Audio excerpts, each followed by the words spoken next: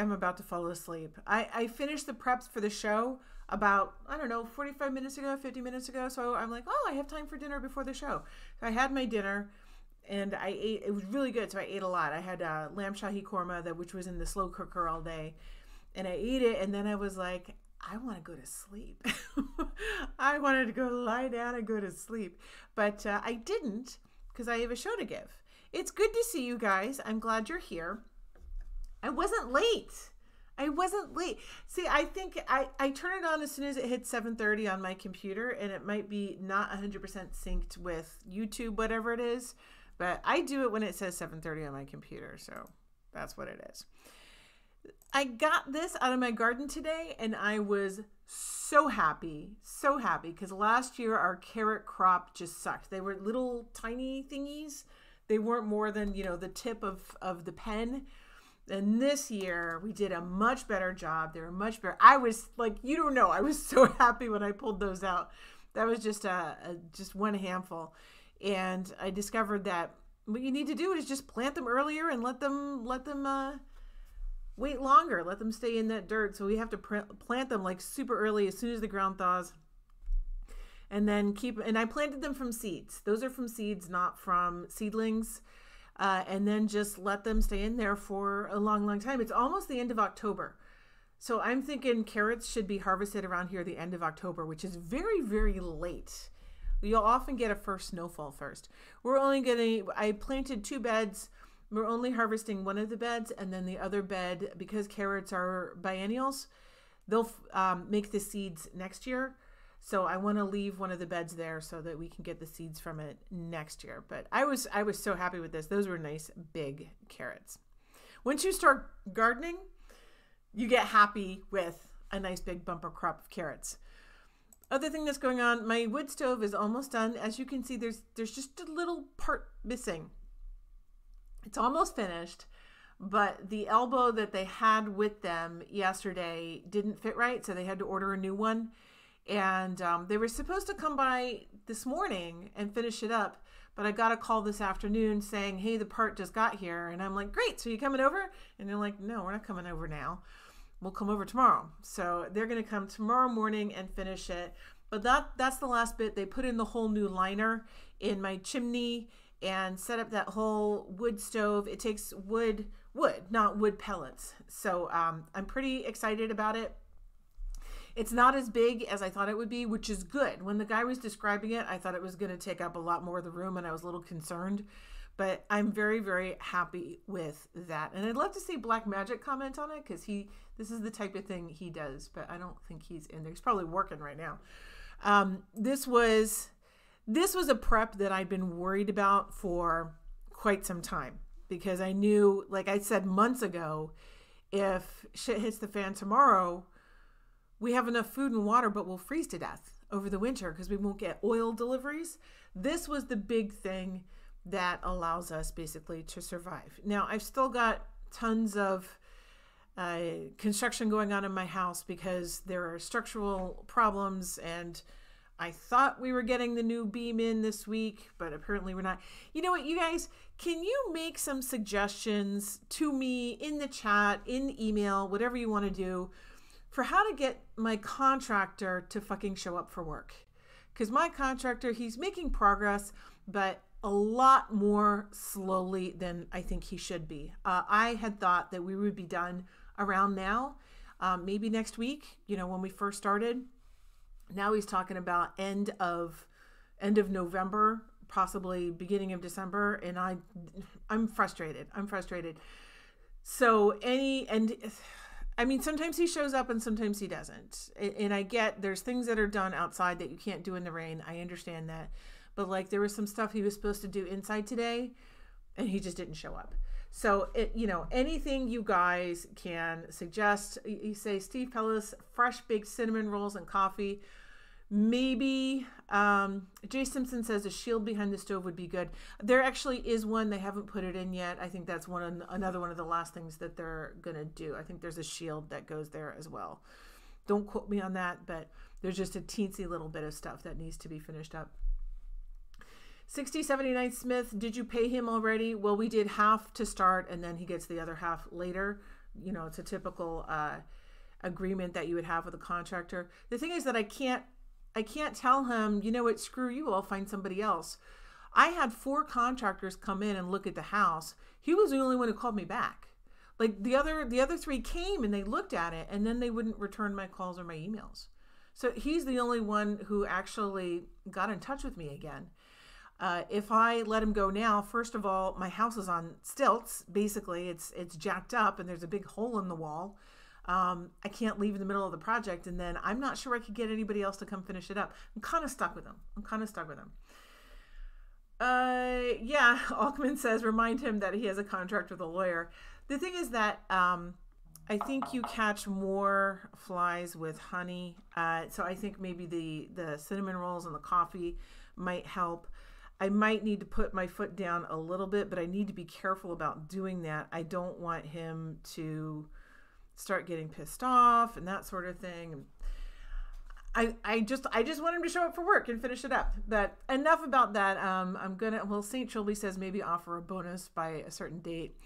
Uh, I might do that and see if we can figure that in there. But yeah, I'm pretty frustrated at this point.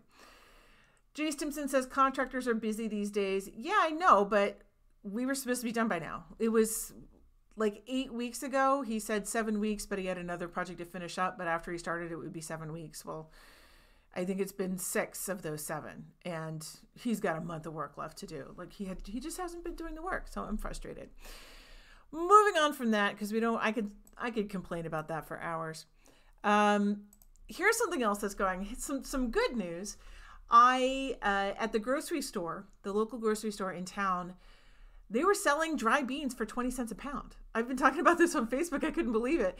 I went out and I got 200 pounds of beans, dry beans from the local grocery store for 40 bucks. $40 for 200 pounds of beans. I would have gotten more, but there's a storage issue. Like, where am I going to put them all? And then also, um, they were running out. So there's not much of it left. Tomorrow, uh, I have to take Isaac to Manchester, and I think I'll stop by like a Sam's Club and get a bunch of rice to go with that. But that was pretty exciting. And this rice and beans wouldn't really be for us because we we actually have enough of that. It would be for other families that let's say my cousins who live in Boston show up unexpectedly saying help us help us or if I wanted uh, to form some sort of uh, agreement with the neighbors for defense or something then I have something to give them. So it's basically to uh, provide for family members who show up unexpectedly or to give to other people for some sort of truce. But we are running out of time. We are running out of time. The election is November 3rd. As I've said many times, I don't expect the world to end on November 3rd. I do think that we are going to see an escalation over a period of months, which is still quite rapid, even if it's not overnight. This is still, even though the world's not going to end on the 3rd, it's going to become increasingly difficult as time passes for you to get supplies if things go the way that I'm expecting them to go. So now would be a really good time to get any kind of final things that you want to get. Not only things like rice and beans, that's the cheapest prepper food, but also some things that are really important. They're very shelf stable and they're important for preparing food or for preserving food. Mason jars, it's probably too late for you to get mason jars. If you see some, great. You can look around for them, but they're actually super hard to get right now. Mason jar, because I'm not the only one who sees this coming. Mason jars, mason lids. Okay, some of the things that you should be able to get are things like white sugar is a very important preservative. Salt is a super important preservative, white sugar salt. And for salt, you need pickling salt and iodized salt. Mostly you need pickling salt.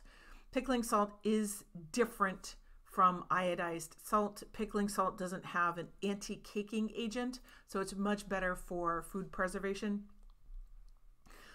Olive oil um, is cheap for what you're getting. You don't have to get the super like extra virgin, you know, twenty dollars an ounce olive oil, but you can get a big old jug of olive oil and not like corn oil. Get olive oil um, in big jugs and uh, it lasts for two years. Look at the date on it because it may have already been sitting in the grocery store for a while.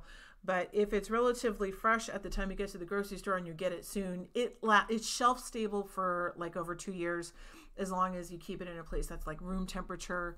Uh, don't freeze it, uh, and don't let it get super super hot. You know, but in in a room temperature environment, it keeps for two years. Ghee is a type of shelf-stable butter. It's um the impurities are taken out of it. It doesn't it doesn't have as strong of a flavor as butter, but it's made from butter. So uh, ghee will keep, I think, for over a year. Honey is a very important preservative. It'll last forever as long as it's stored properly. Vinegar and alcohol. Yeah, alcohol. That you can get the good stuff for um, for you know just having a drink or something but get a lot of the cheap alcohol for food preservation and also for medicinal reasons. It's a really good antiseptic um, and alcohol is also important for trading. Those are some of the things you could be getting right now. Sugar salt olive oil ghee honey vinegar and alcohol not an exhaustive list, as I'm sure you can imagine. Let me do one more update and then I'll look at a lot of the comments before we get into some of the new stuff. So, this is an update on Lauren Chen. Uh, the other day, I talked about she was doing a GoFundMe and didn't have quite enough. She was asking for $90,000 for her father's surgery. I think she's lowballing. I think it's going to I think his treatment, the surgery and his subsequent treatment are going to be a lot more than that. My nephew had cancer and his treatment was in the hundreds of thousands, like plural, not 90,000, hundreds of thousands. So when she says 90,000, I think she's lowballing it. Um, and there's a link in the other day's uh, description. and I didn't put it in today's description. But there was um, an update. He had his surgery yesterday. This is the message from Lauren Chen. This is a picture of her dad. A tired but happy dad, last night's surgery took longer than anticipated with some unforeseen challenges. That means the surgery had more complications than they were expecting. And it looks like we'll need more testing and treatment to keep the cancer at bay. For now, though, he's on the mend, good, and enjoying some jello and broth. So good for Lauren Chen's dad, and I hope he gets better soon. All right, jumping over to a bunch of the comments. By the way, I've got three screens going on. I got this one, which is the YouTube screen. I've got my Camtasia screen, and I've got my OBS screen. When I'm on one of those other two, I can't see the chat and I can't see the super chats. I try to read as many uh, chats as I can. If you do a super chat, I'll read it as soon as I see it. But if I'm on some of the other um, uh, pages, then I can't see the chat. I'll, I'll see it as soon as I get back to this page. Uh, Mike B says big jugs are better. Awesome. Elva Carroll, Laurel, see if you can order some tepary beans to grow. Okay, I haven't heard of those. That's interesting. I'll probably be away from people on the third hunting. Oh, I see. I thought you were saying you, get, you eat the tepary beans and then you're away from people. But you mean like on November 3rd, you're just going to get away from people. Yeah, and, and I'm going to keep saying it uh, today and then again on Sunday on November 3rd, get out of the cities. If you need to vote, vote and then get the heck out of there. I if you're in the city and you want to vote on election day, vote first thing in the morning and then get the hell out of there. Just just go. Cuz there's I I think it's likely that some stuff is going to happen. Just get the heck out of there. I'm going to be voting in person on November 3rd. There's no early voting around here and I was not going to be voting by absentee ballot um, but I'm not. I'm not in the city. we should be okay here. Graham Godfrey says nothing left to burn in Philly. We'll talk about the Philly story a little bit later on. Altman says, Laurel, you want to feed the quote, if something happens, I'm coming to your place. You better be able to arm the ones you want and bury the ones you don't. Um, yeah, and I have mixed feelings about having food that you plan to give to somebody else. And um, I'm going to be very careful and probably apprehensive about even giving it to neighbors. The problem with giving any food to anybody else is then they know you have food. And even if you trust the person that you're giving it to or that you're telling, they may tell somebody else that they trust foolishly. They trust, but you never would. So it's not just do you trust the person, but do you trust them? Their judgment and trusting other people. They may mention it in passing to someone else, not thinking anything of it, and then it's that other person who show who shows up at two o'clock in the morning with a, a bunch of people and guns. So you know, be it's the same thing with um, just in, in regular everyday life, if you don't keep a bunch of cash in your house, if you do, make sure you never tell anybody ever whatsoever because you may, you know, let your your good friend know, and then in passing they tell somebody else and don't think anything of it. Um, so just it's it's something that I've considered even as I get these extra supplies is under what circumstances would I give them to somebody else? We shall see. Elvicaro says tepary beans are probably the most drought tolerant crop on earth. Well, that's great where you live in New Mexico, but I'm in New Hampshire and we have plenty of water. So I'm not sure I would actually need that, but I appreciate it. And I'm going to say this name right this time Thermopylae. The Canadian provincial health plans will cover some of the costs, but not all. So that might explain her estimate. Well, she's getting a lot of it. Will they they pay for people to get surgery in the U.S.? But she was wise to go to the U.S. for treatment. Okay, so I don't know whether they cover any of it while she's uh, to get it done here. And Burls, we have some violence in my neighborhood, but it's regular uncouth stuff and not political at all. We really don't have a lot of that uh, going on here. Bill says, hard to hide the fact that you have chickens. The thing about the chickens is, actually, most people around here have chickens. Both of my neighbors on, on both sides, they have chickens. Yeah, the people across the street don't. Um, but uh, there's there's lots of chickens all over, so it's not. I'm less concerned about people knowing that I have chickens. Except, of course, if everybody gets hungry, then they'll they'll go for everybody's. Alrighty. We shall see. All right. Okay, so the first story, it's 747. I'm just getting to the first story. This is Melbourne, Melbourne, Australia. And uh, they are supposedly free. This is this is a celebration of their freedom from the COVID lockdowns. So first we'll we'll do their celebrations and then we'll talk about these crazy lockdowns they've had and you can formulate your own opinion on whether they're actually free now.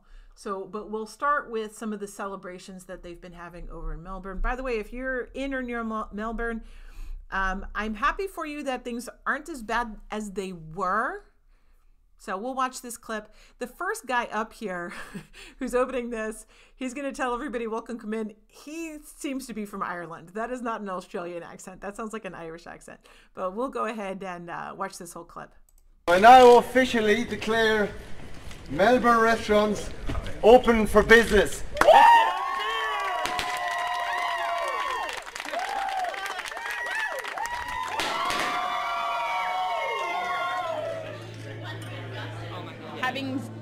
Small things like this, even though it's not a packed bar or anything like that, just taking some steps to that normal that we all used to really take for granted.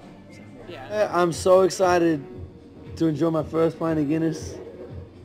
It's been far too long. And I don't have enough words, uh, like in my vocab, to describe how excited I am for this. So, can I say to all of those in Melbourne, in particular, and across Victoria, again, congratulations, and I hope you enjoy being out and about. I know you've been waiting a long time for that. And I would just encourage you to, as you open safely, that's the way to remain safely open um, into the future. Uh, but I'm sure it is been quite a day and quite a, a late night for some down there in Melbourne. I can completely understand that.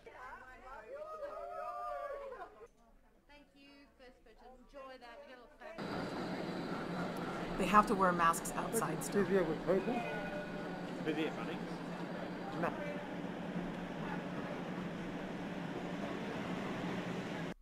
Okay, so they're all celebrating their freedom. let me just look at one comment here. Uh, Mark M says that was odd, Laurel. You disappeared midstream. Midstream. Did I? That would be odd. I hope I came back.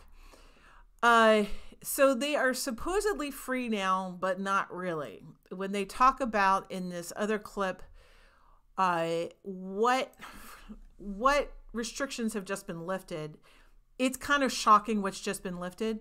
But then they talk about what they're still under, what restrictions they're still under. They don't sound free to me.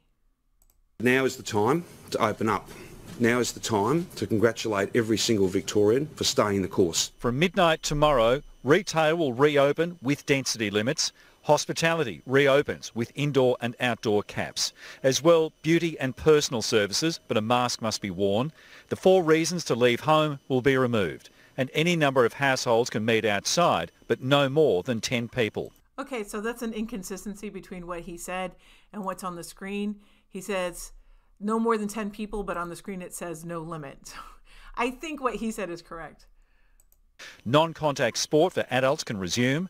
Outdoor religious gatherings will be allowed for up to 20 people. Okay, wait. So this is removing restrictions is religious gatherings no more than 10 people indoors? That's lifting the restrictions? While 10 people can attend indoor services. Up to 10 will be allowed at weddings and up to 20 at funerals. And outdoor entertainment 10 people at the wedding and 20 at funerals. This is this is freedom. venues can seat 50 people.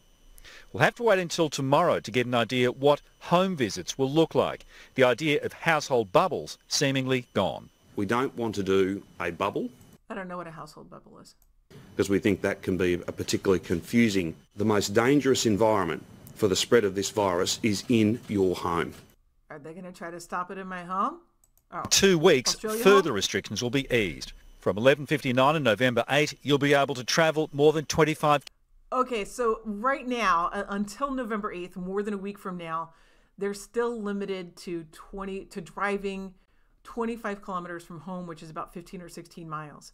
So even now, when they're free, they can't drive more than 16 miles from their house.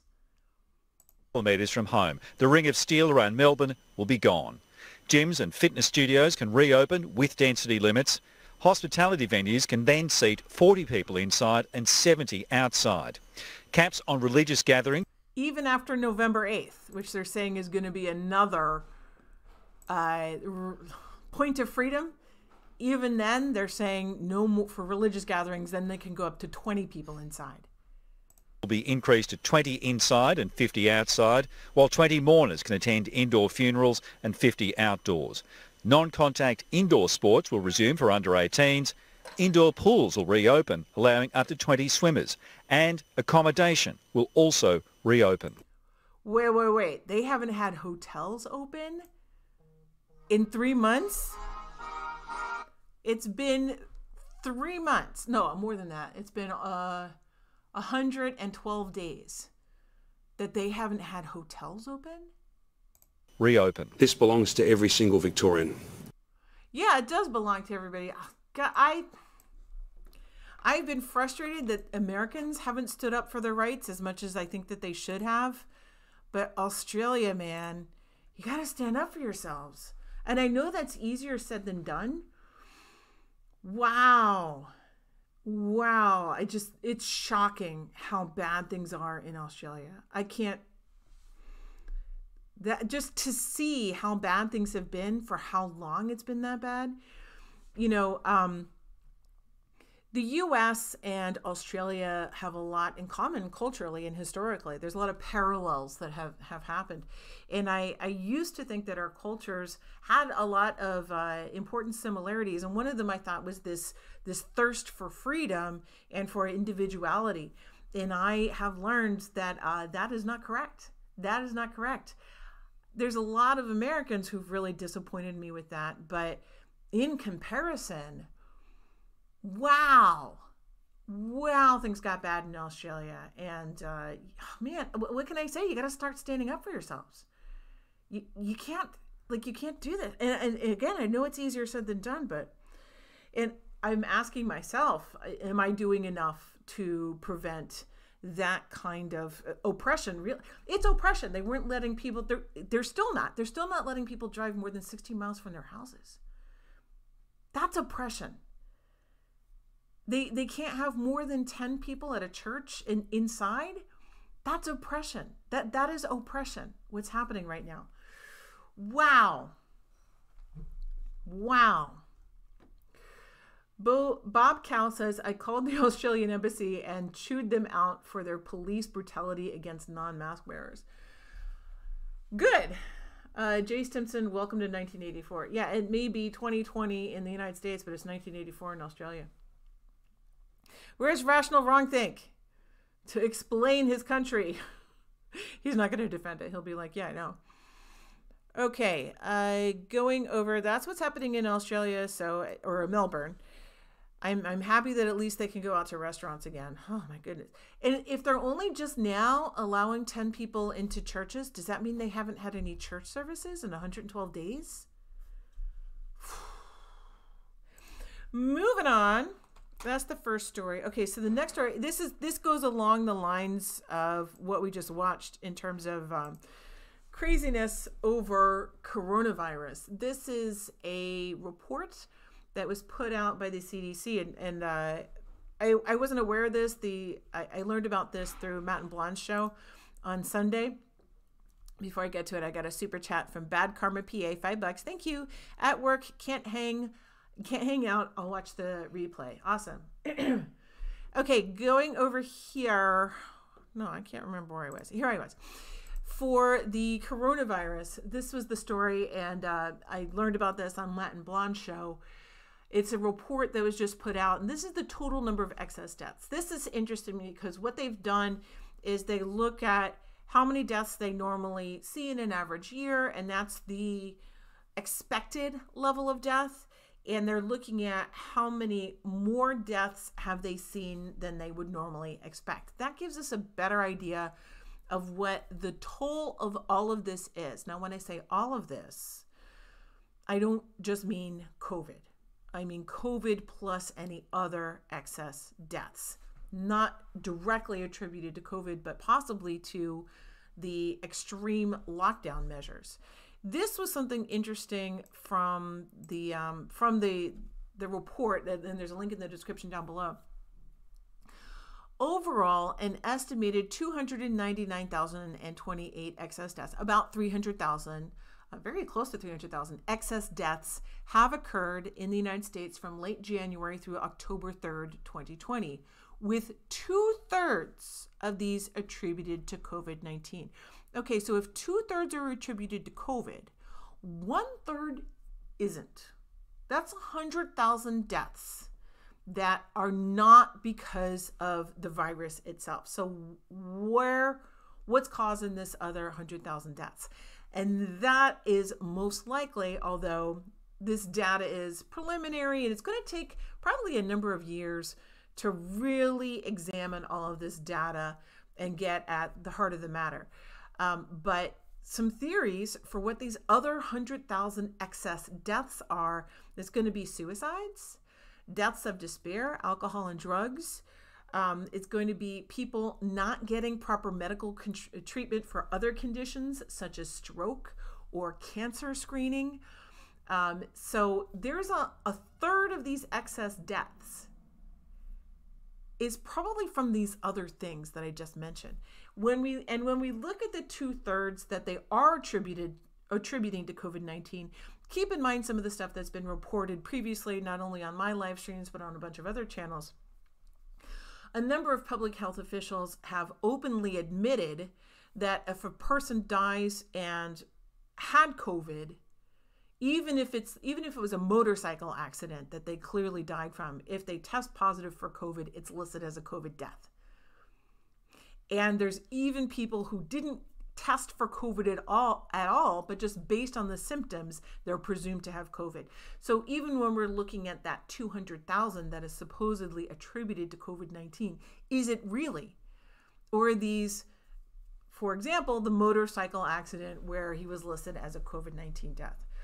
We won't know for sure for many years how much was COVID and how much was deaths because of this crazy disruption to life and society. And also, this is important the largest percentage increase were seen among adults aged 25 to 44 and among Hispanic and Latino persons. We know that the disease, the, the average age of COVID death is in the late 70s or early 80s. If you look at a number of sources, you'll get a different estimate of what the average age is. But um, most of the sources are going to say it's actually over life expectancy. I think life expectancy is around 77, and a lot of sources say the average age of a COVID death is 78. Uh, but definitely not 25 to 44.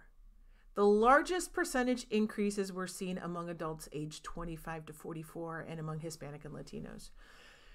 So those aren't COVID deaths. Or they're if they are, then it's people who were very sick from something else, most likely. Because um, that's not most of the the pe- that age range is not most of the people who have COVID. So we also don't know whether the lockdowns saved anybody. We can't. It's very difficult to say that because even if you look at uh, the lockdowns suppressing the number of people catching it or dying from it for how long? Because you can't are you going to keep this up for years? So are you just postponing it uh, for a few months?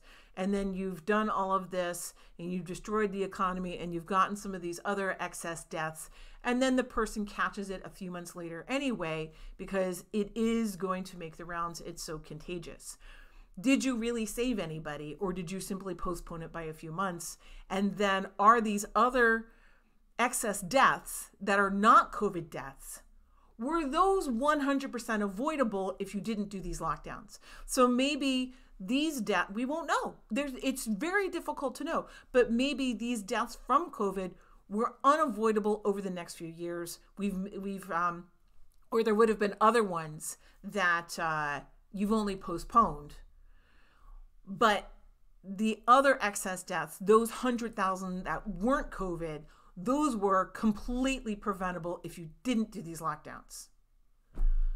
It's very difficult to say because the data is too early, but um, I have a lot of concerns about whether any of this is helping or whether it's doing more harm than good. Mark M, 15 bucks. If you'd expect voting day disturbances, then why not in early voting? Because it would tip their hands. Uh, Forward Observer, and I'll mention him again later on, uh, mentioned in his intelligence report that I read today. In the in the far left circles, they are telling people wait until after the election. Obviously, there was riots in Philadelphia the past two nights, but generally around the country, they're telling a lot of their people who are willing to listen, wait until the election, wait until the election and after. And that's part of why we haven't seen as much activity lately, with the notable exception of Philadelphia the past two days. So um, that's why, probably why we haven't seen much disturbances for early voting. There's been a few incidents, but not that much.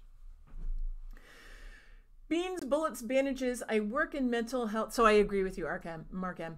I work in mental health. Suicides and ODs are way up with my agency. We are screening twice as many people in the ER for psych hospitalization as a year ago. Wow. Yeah, so a lot of these a lot of these non-COVID excess deaths were preventable and whether the COVID deaths were preventable is uncertain. And Burroughs Laurel is Tally back on YouTube. No, thank you for asking. He is on BitChute. He only has a couple of followers. It's like 600 followers on on BitChute. Um, his channel on YouTube hasn't been deleted. If you want to find him on BitChute, I'm sorry I didn't uh, I didn't get a link for in the description, but he is Clown World News on BitChute. He's not Tally 2110 LOL. He's Clown World News on on BitChute.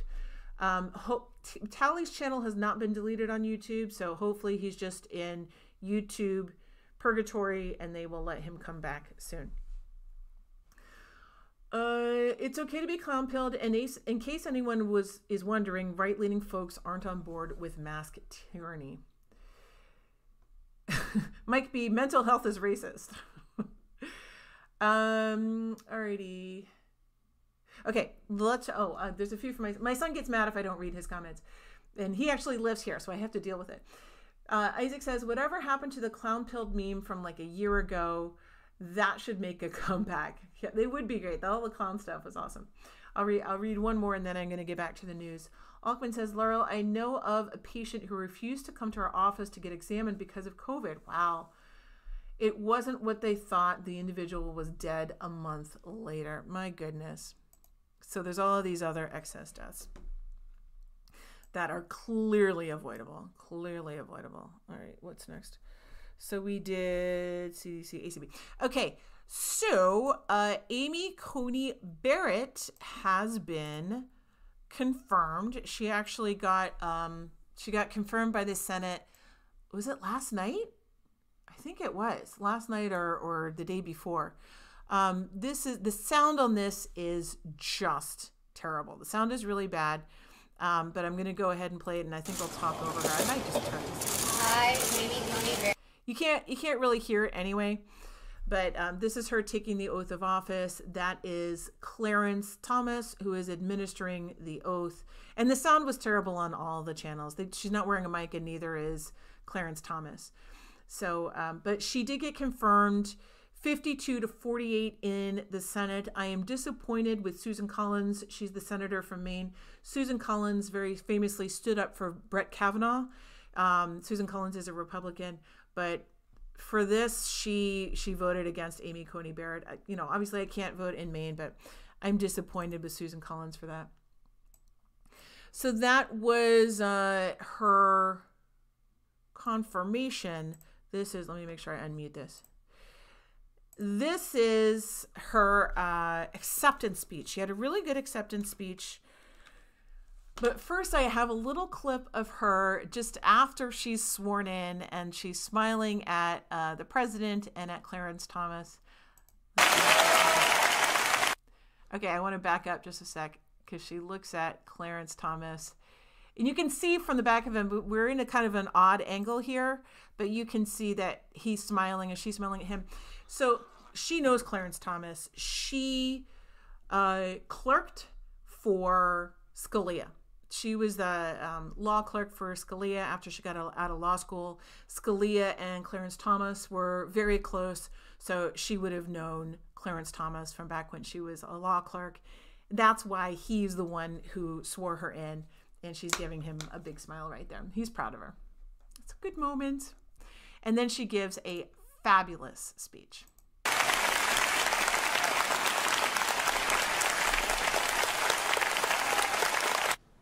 The confirmation process has made ever clearer to me one of the fundamental differences between the federal judiciary and the United States Senate. And perhaps the most acute is the role of policy preferences. It is the job of a senator to pursue her policy preferences. In fact, it would be a dereliction of duty for her to put policy goals aside. By contrast, it is the job of a judge to resist her policy preferences. It would be a dereliction of duty for her to give in to them. Federal judges don't stand for election. Thus, they have no basis for claiming that their preferences reflect those of the people. This separation of duty from political preference is what makes the judiciary distinct among the three branches of government. A judge declares independence not only from Congress and the President, but also from the private beliefs that might otherwise move her. The judicial oath captures the essence of the judicial duty the rule of law must always control. She's fabulous. I, I wasn't sure about her when she started, but I really liked what she said in her speech. So uh, I think she's a gem, and we're all very lucky to have her.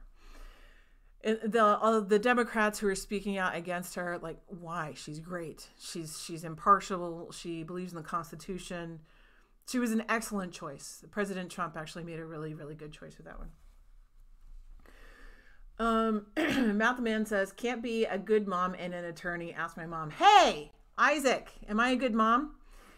Mike Bondinsky, uh, Collins likely voted against confirming Barrett with support and consent of McConnell. McConnell knew he had the votes to confirm, and the GOP needs Collins to retain majority hold of the Senate.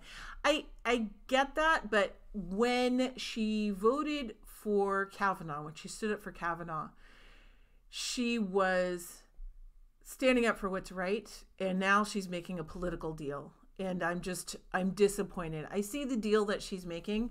She wants to increase her chances of getting reelected. I would have rather seen her stick to her guns. I, I think um, the people who are intent on voting her out are going to do it regardless. I don't think this is going to really change their decision. I'm close enough to Maine that we sometimes hear the political ads for Maine. And so I've, I've heard on the radio some of the political ads against Susan Collins. They're really coming after her. I don't think that voting against Amy Coney Barrett is going to help her in any way.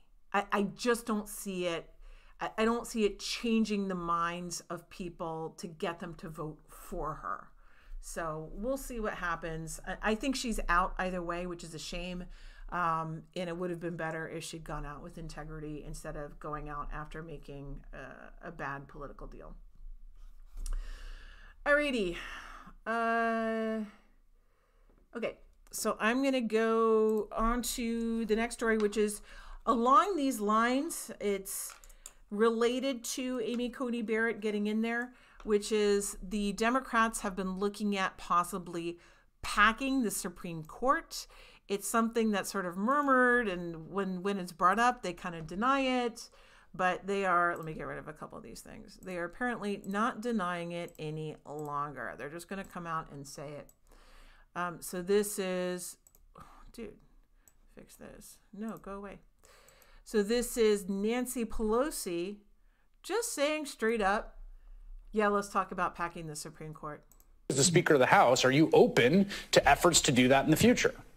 Well, I think that Joe Biden has given us a good path. He's going to have something that people can understand why this is important. And I like what something that Brian said about not just the Supreme Court, but the other courts. It was a hundred, oh, well, in 1879, in 1876, there were nine justices on the court. Our population has grown enormously since then. Should we expand the court? Well, let's take a look and see. They're just openly talking about packing the Supreme Court now. They want to if if they don't win and it's looking like they're not going to despite what the polls say i just don't believe it I, there's tons of people at trump's rallies and there's like nobody at biden's um, and I don't think that fear of COVID fully accounts for that. Since it looks like they're going to win, they might lose. It looks like they're going to lose. They might lose the White House and still win Congress. And if they do, they might try to pack the Supreme Court so they'll have that one. And if they do get Biden in the White House, which again, I just don't think is going to happen, they want to make sure that they never lose again and packing the Supreme Court would be very important for that. What we're looking at is the Democrats, the left. It used to be extreme left, and now it's even moderate left. It's she's the Speaker of the House, which means all the other Democrats had to vote for her the moderate Democrats are now talking about doing things that really undermine our system of government. They really undermine the republic. They're going to pack the Supreme Court to make sure that they get their way since they've now uh, since it now looks like a conservative court. They want to do some underhanded things. And they also want to get rid of the electoral college. They've talked about that before. It's not what Nancy Pelosi was talking about there but um, they just want to completely undermine our system of government. It's a revolution. They're talking about a revolution. They're talking about in, in the mainstream. They're talking about doing it through a political process, but it goes along with the violent extremism. So many people on the left, both the moderates and the extremists, are looking to overthrow our current system of government in some way. And that's what this election is about. Are we going to continue as the United States or not? But it's not it's not just us. It's it's this whole battle between globalism and patriotism throughout the West and indeed I think in some other countries as well.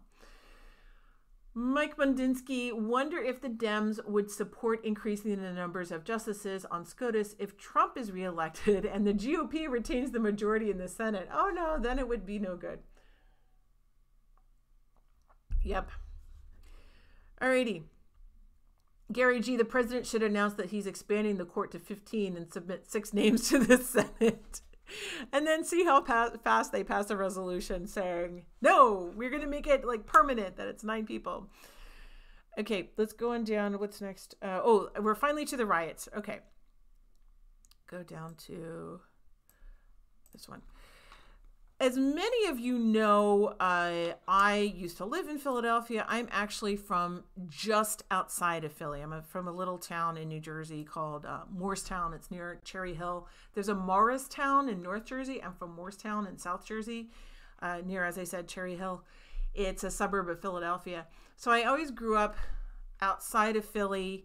We got the news from Philadelphia, and and uh, all of our TV stations were there when we went to sports games, which we did every now and then, we would go see the Philadelphia Phillies. We'd go into into the city.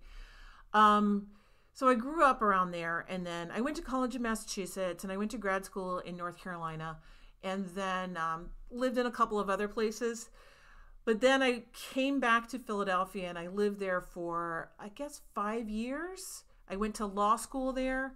And then after I left Philly, I went to Houston and I lived in Houston for 13 years and then uh, moved back to Philadelphia. And I lived in Philly for three years. I was thinking about staying there. So 21 years, either Philadelphia or Houston. It was five years in Philly, 13 in Houston, and then back to Philly for three years. Uh, and I, when I came back to Philly, I thought I was going to stay. I thought I was going to stay forever. And uh, I decided not to buy a house right away because I'm like, well, I'm not sure what part of the city I want to live in. Uh, so I got an apartment, and thank God, because that made it a lot easier to leave. And when I left Philly, um, for a number of reasons. One of them was just the crime rate. It was the homeless problem was getting out of control, and I just thought I want to go someplace safer. I, I really wasn't thinking Civil War back then. It was actually a few months after I moved that I started thinking along those lines. Uh, but I decided that I wanted to go live in the country, get a couple of acres. I have 1.6 acres here. Um, and I'm glad I made that decision it's still heartbreaking to see Philadelphia, to see riots in Philly. I, I think of it as my sort of home city. My hometown would be Moorestown, but my home city nearby would be Philadelphia. And this just breaks my heart. A lot of these riots, I looked at a bunch of the footage and I don't recognize any of the areas. Uh, I lived in Center City the time that I lived there, the eight years I was there. The first five years I lived um, by 22nd and Bainbridge, which is not that far. It's a good five minute walk south of Rittenhouse Square, five to 10 minutes south of Rittenhouse Square. And then when I lived there most recently, I lived right near the uh, Reading Terminal Market, which is, they're both, they're like on, both of those are on the edges of Center City. Isaac says, according to Spengler's model, democracy is supposed to give way to Caesarism. Uh, okay, so these are the riots in Philadelphia.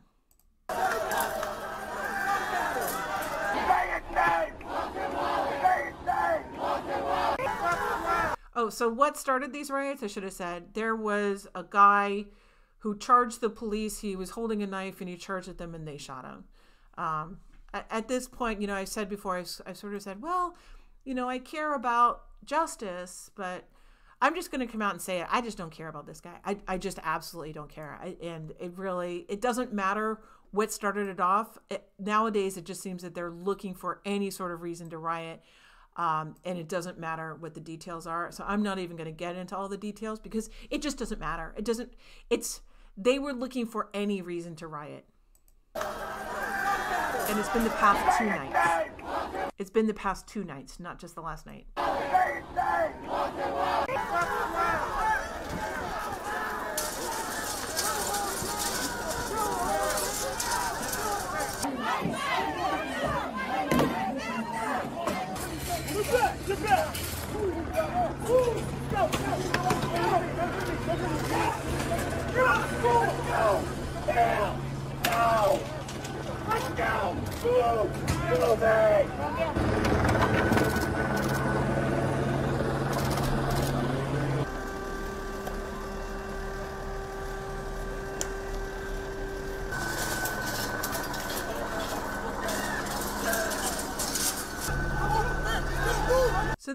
That have blood all over them, there's this one and then there was one earlier. That's not necessarily because they hit anybody. Uh, there were reports of people throwing blood on them. This may be blood that was thrown at them.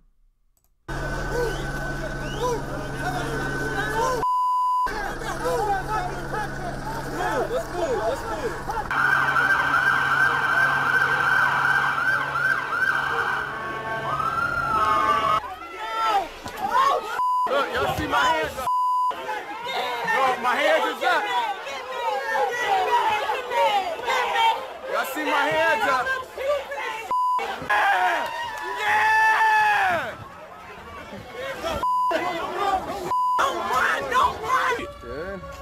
Was it a cop car? Or? I don't know if it was a cop car or I not. heard it was a cop car, but I, I don't know if a cop car.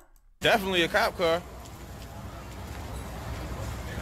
I was on my way home. This is the middle of 52nd Street. That's the middle of 52nd Street. I didn't say it right though. I can't say 50, 52nd. I can't do it. That would be North Philly. I I think where was the law school? I think it was around 40th. So or just it's not that far from from the law school. I went to Temple School of Law. Okay. So and we're out of focus again. Yay. It breaks my heart to see Philadelphia on fire. Uh, 25 cops were hurt. Uh, people were throwing bricks at them, but all of the cops who were injured are expected to uh, make a full recovery. Tazi says very peaceful shopping. The a lot of the um, uh, shops that were hit, you know, are not going to reopen, especially the smaller shops, the mom and pop shops, because they didn't just get places like Walmart. They got a lot of mom and pop shops too. They might not reopen.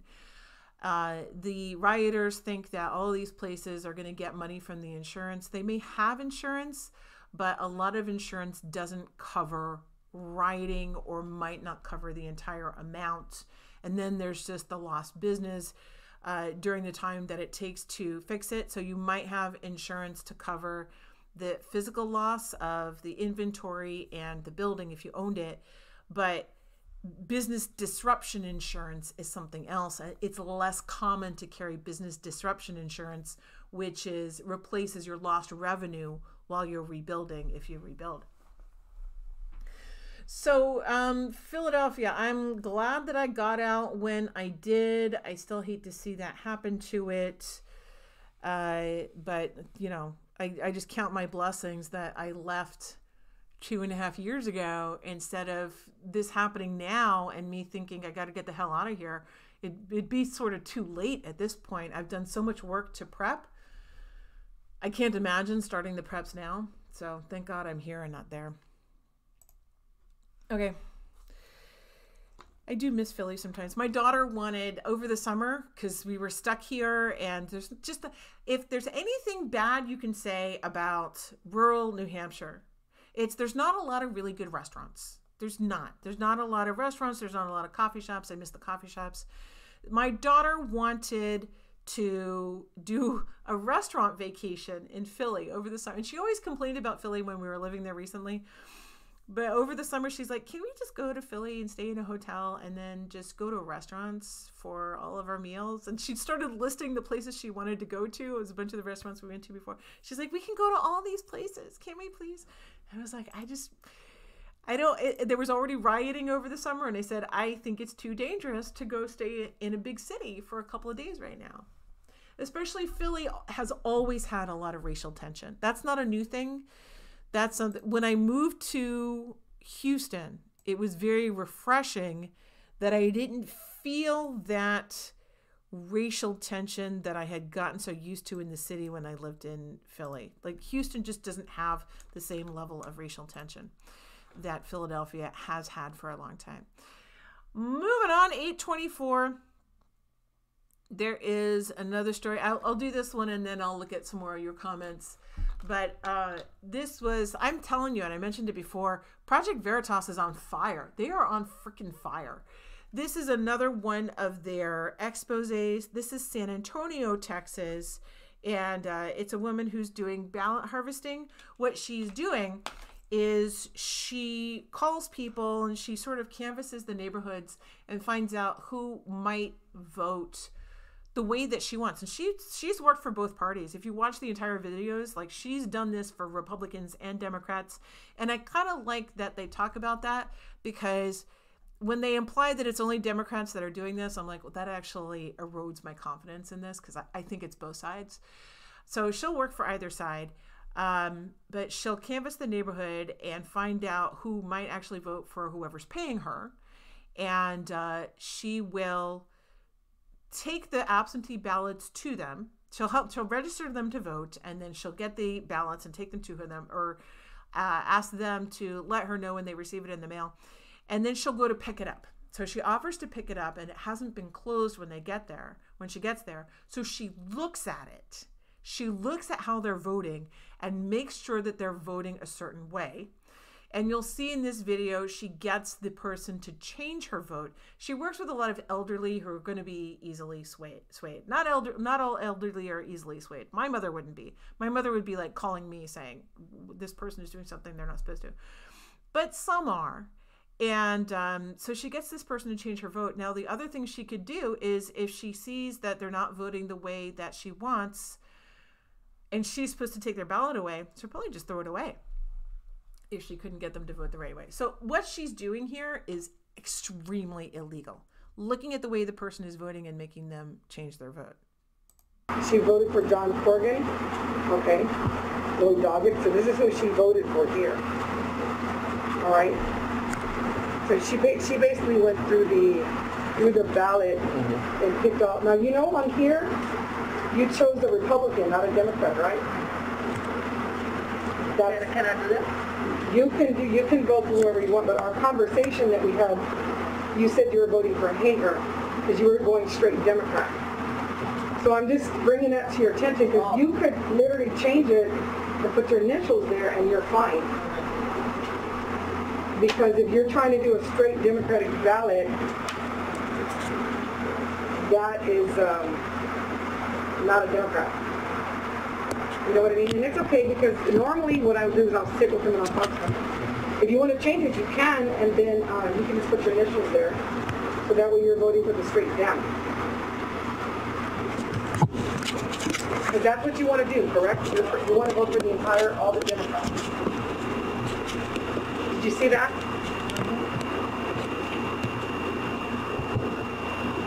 Can I do it like that?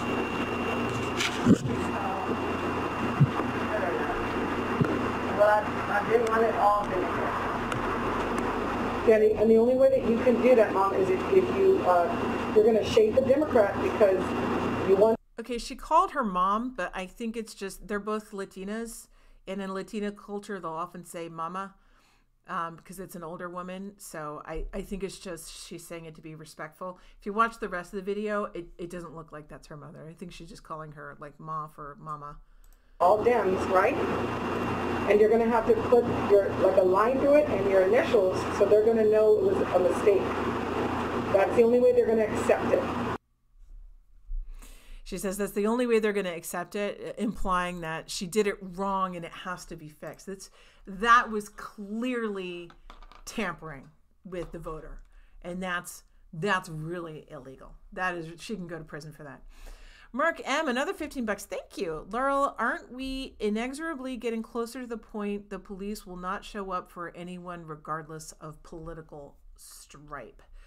Uh, yeah, well, that's why I, I got I got my guns. Honestly, yes, we, we are getting closer to that.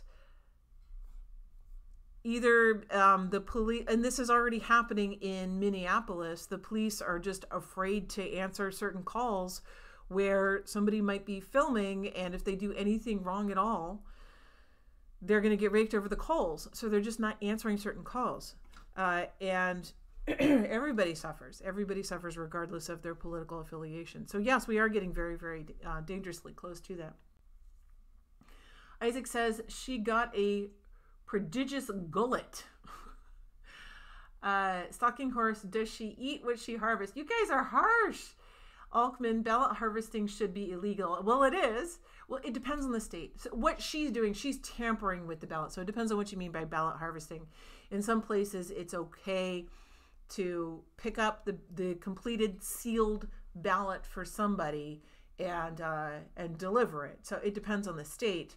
But what she's doing is not legal anywhere. There's a reason why at the polls, if you go and you vote in person, they have you can only go to the voting booth one at a time. They won't let a spouse in there with you because they don't want one spouse ordering the other spouse what to do. Um, you go in there alone, you close the curtain. The only person you're allowed to have in there, you can have minor children in there with you, your own minor kids, and you can have uh, one of the election judges upon your request. If you're confused about how to use the machine, they can go in there with you, but nobody else is allowed in there with you. And there's a reason why they do that, and that's to prevent this. Doing this on the the paper ballots very illegal, and this is one of the problems with the paper ballots. It's much more vulnerable to that type of thing than voting in person. You guys, I bet she puts gravy on her cake. My goodness. the angle, I mean, she's she's heavy, but I mean, so am I. The angle was very unflattering. Uh, Black Magic, Sup Jay, work's trying to kill me again. Plus, I have to get the wood stove going. Go for it. And then later on, uh, Black Magic, watch the very beginning of my show because I show you guys my stove. It's missing an elbow, but uh, you can take a look at it and tell me if it's a good one.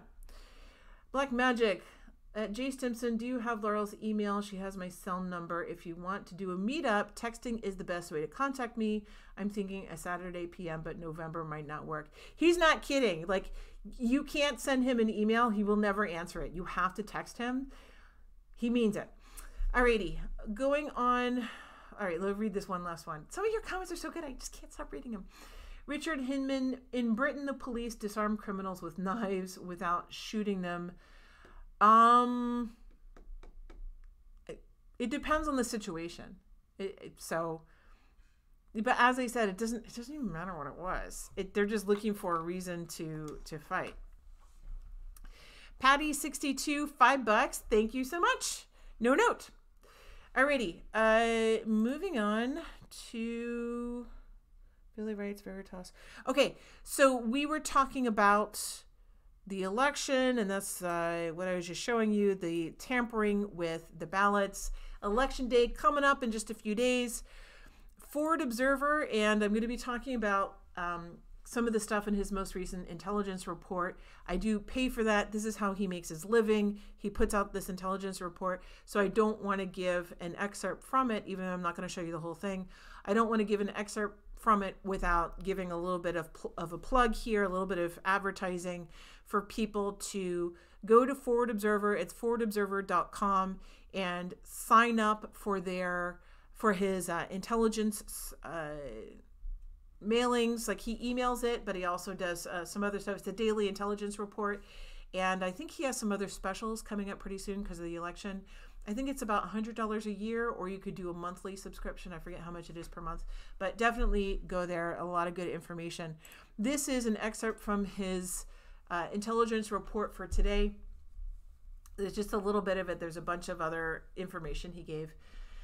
Texas National Guard readies for deployment. The Texas Army National Guard announced that up to 1,000 troops could be deployed ahead of Election Day. According to National Guard spokesperson Brandon Jones, no troops would be stationed at polling stations.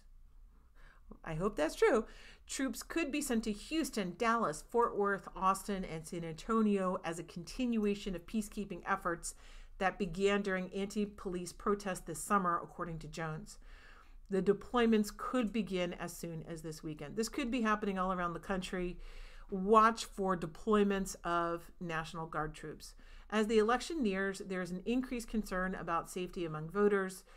Law enforcement is attempting to keep a low profile, yet still provide safety and security to voters. The question of election site security was revealed, has revealed the patchwork of laws as they relate to polling site safety, firearms laws, and the buffer zones where armed individuals, including police, monitor the election.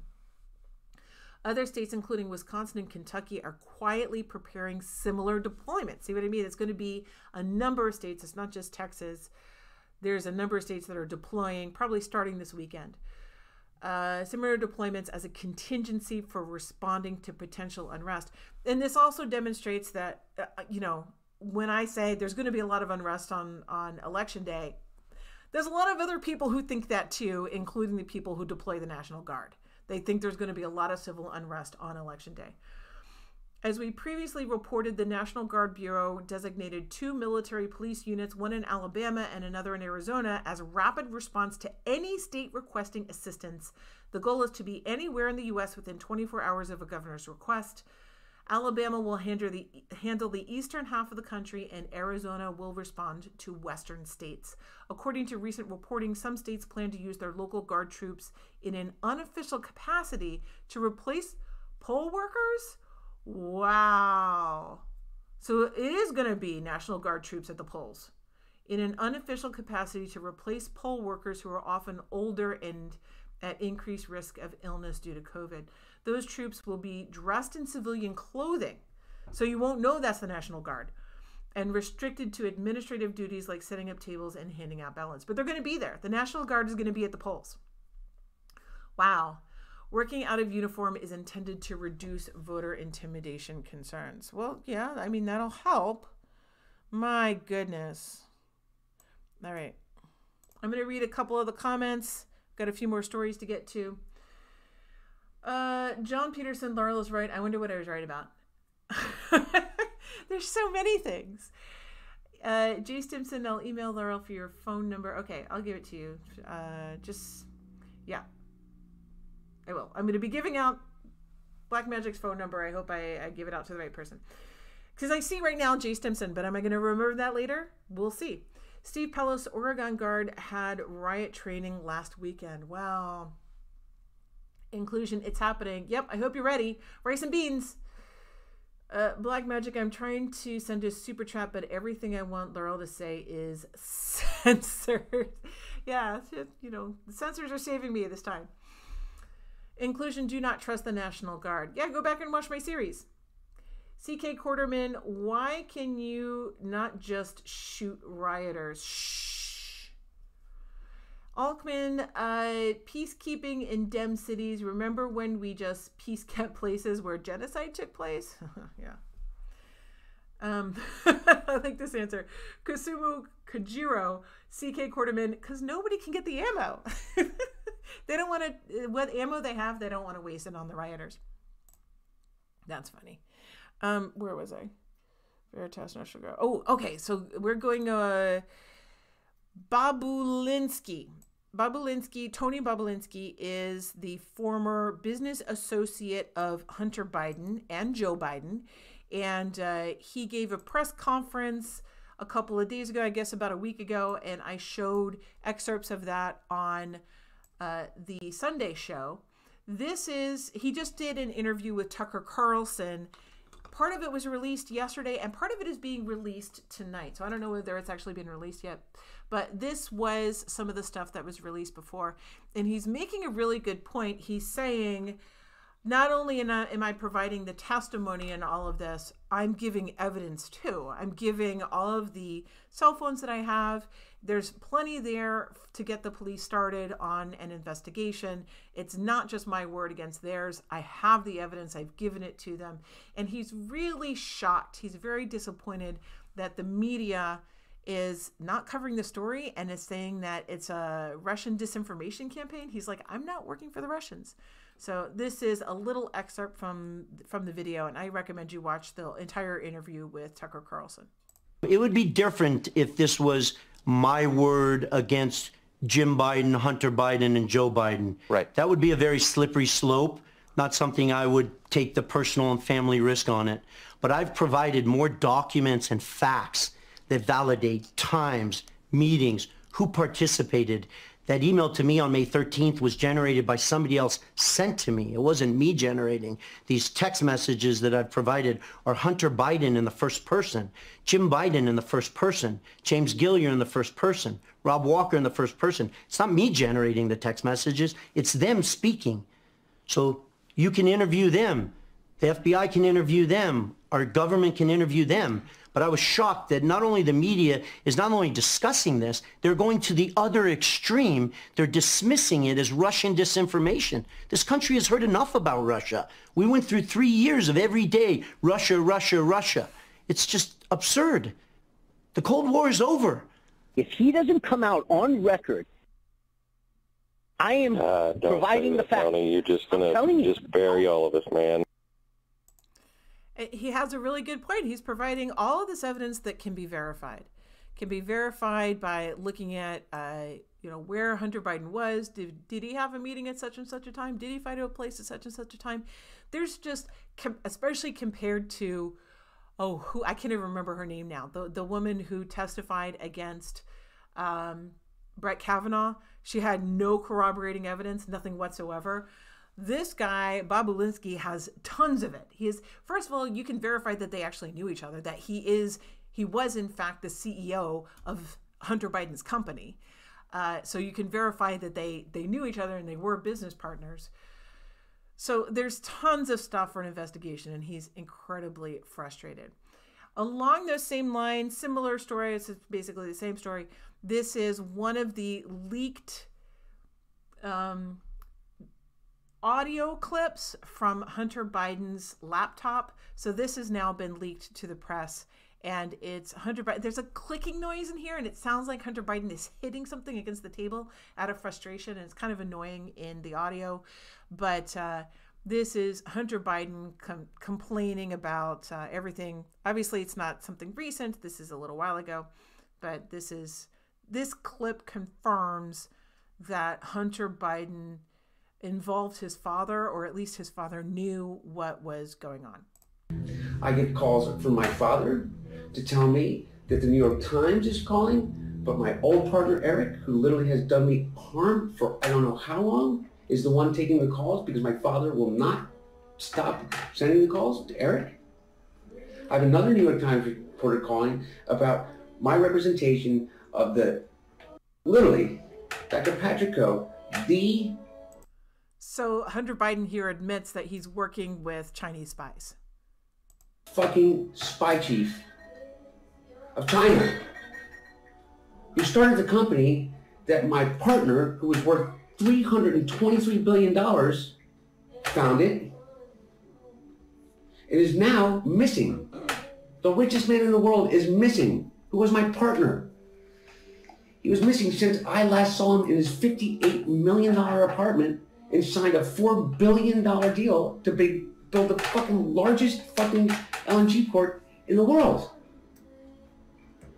And I am receiving calls from the Southern District of New York, from the U.S. Attorney himself. My best friend in business, Devin, has named me as a witness without telling me in a criminal case, and my father without telling me.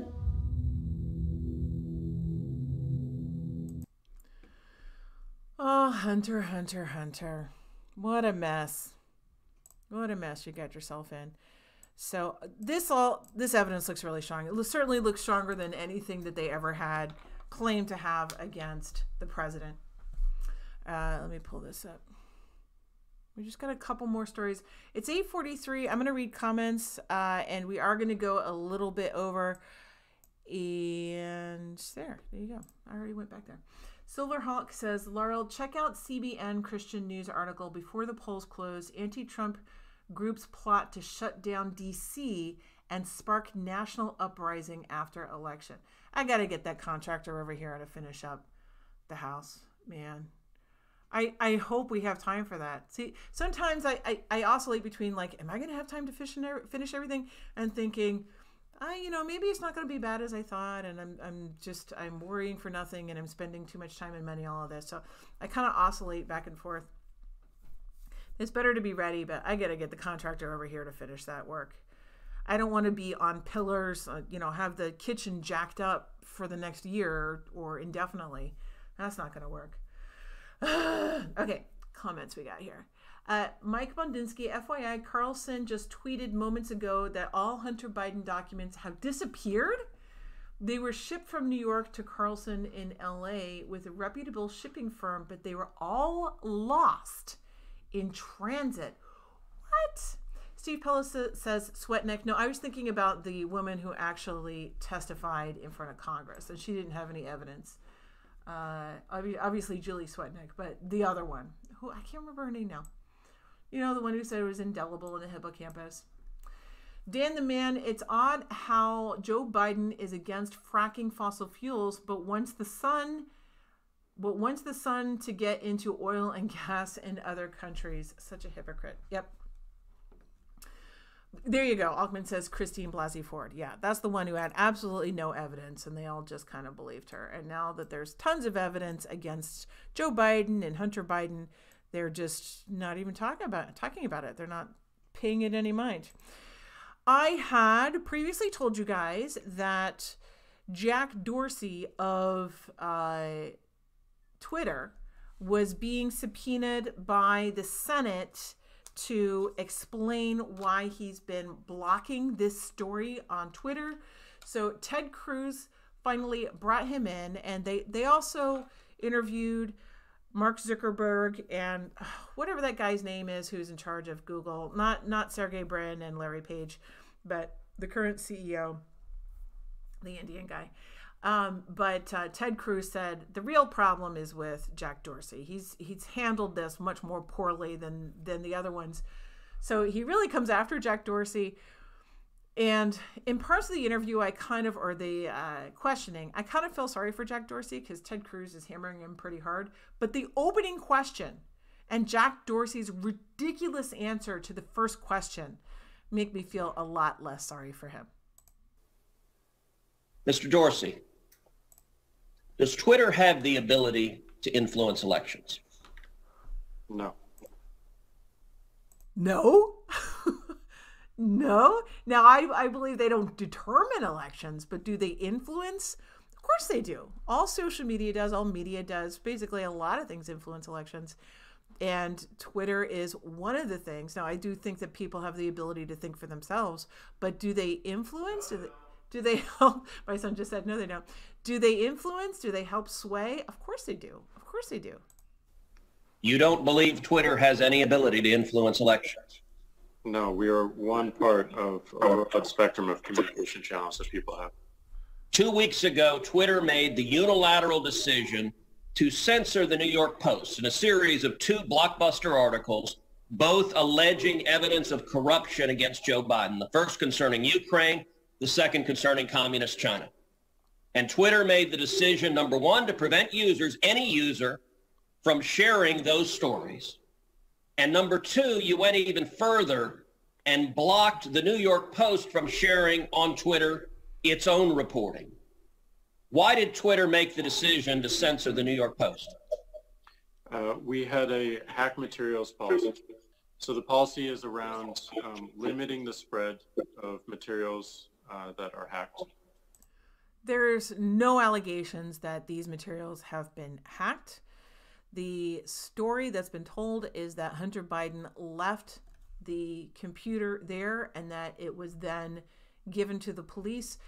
To my knowledge, Hunter Biden has never said that any of this was hacked. Joe Biden has never said any of this has hacked. This is the first time I'm hearing that there's even that accusation out there. This seems a little uh, kind of reaching. Um, we didn't want Twitter to be a distributor for hack materials. Did Twitter block the distribution of the New York Times' story a few weeks ago that purported to be based on copies of President Trump's tax returns? We didn't find that a violation of our terms of service and this policy in particular because it was reporting about the material. It wasn't distributing the material. Okay. All right.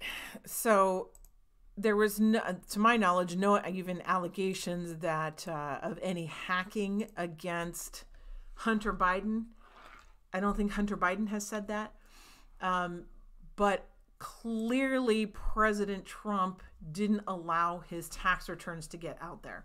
So to say that you blocked one because of hacking and didn't block the other because they weren't printing hacked material, I think that's pretty flimsy.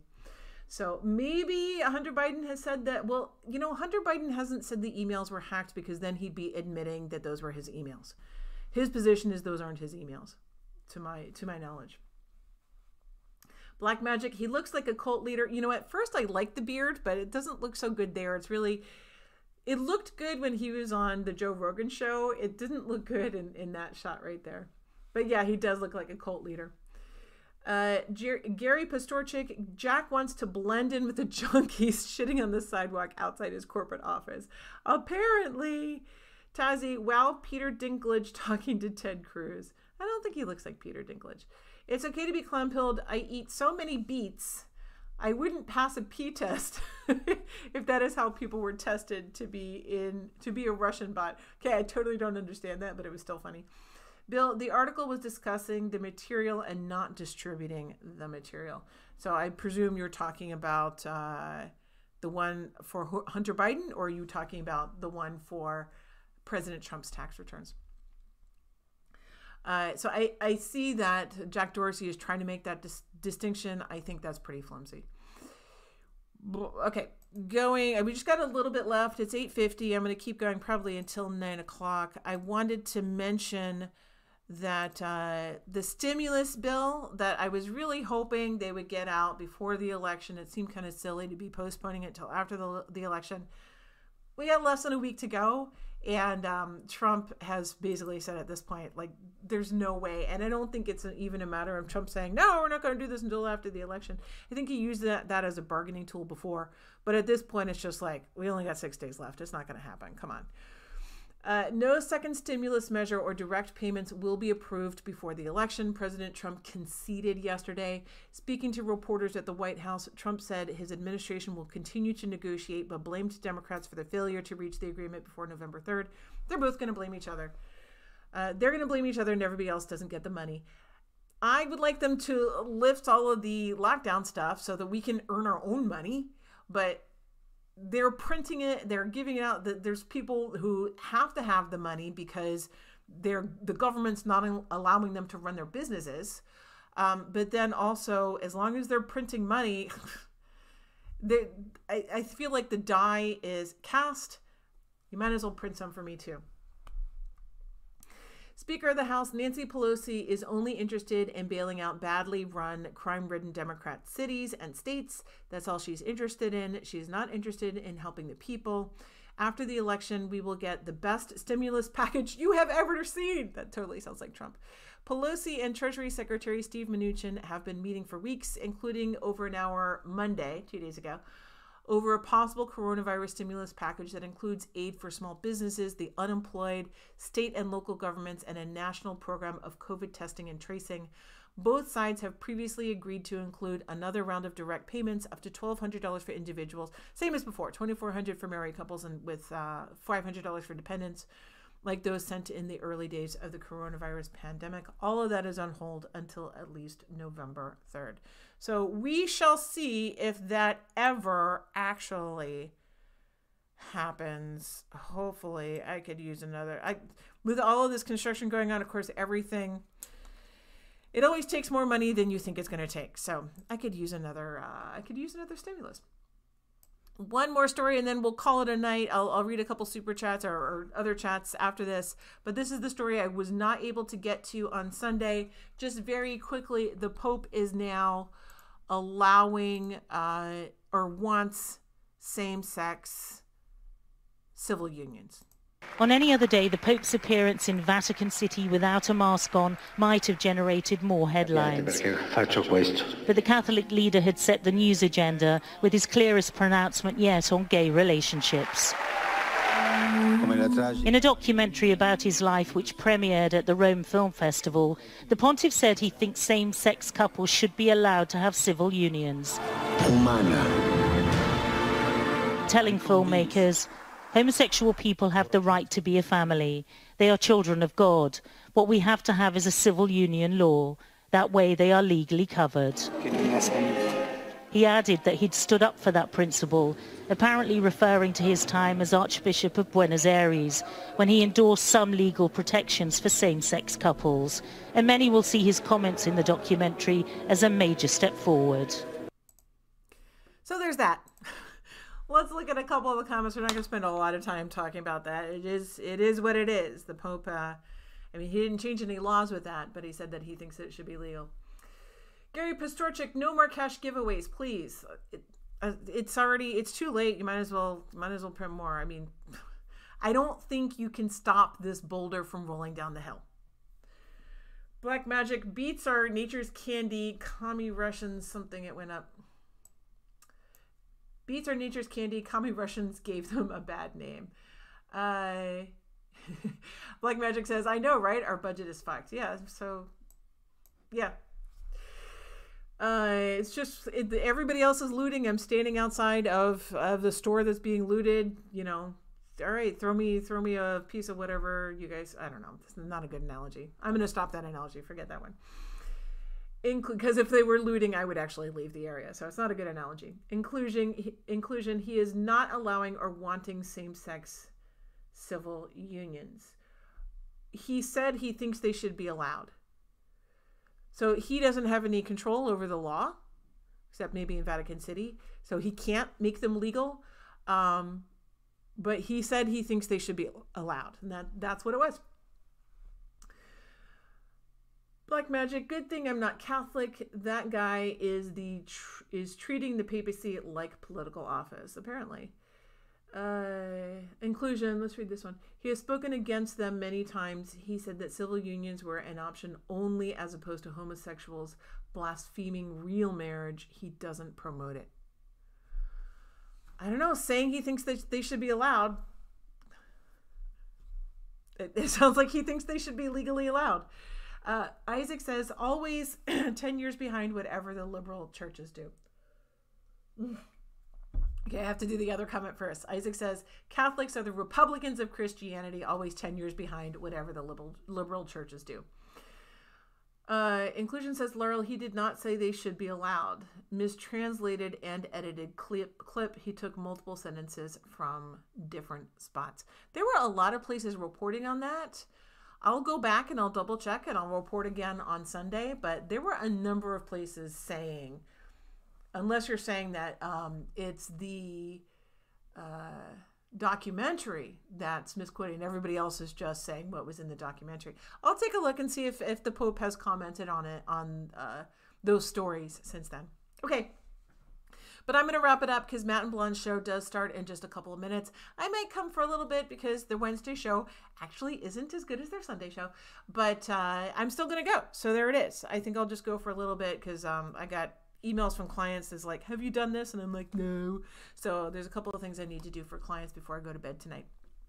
Uh, anyway, good show tonight, guys, and uh, spend your last few days of prepping wisely. There's not a lot of time left.